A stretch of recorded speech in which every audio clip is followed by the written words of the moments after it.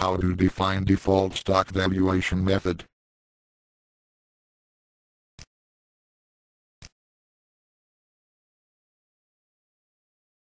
Select cost rate.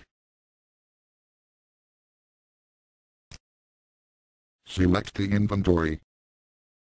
Select stock summary. Click options.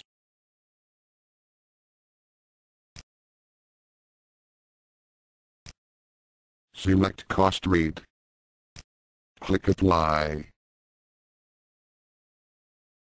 Thank you www.maxxerp.com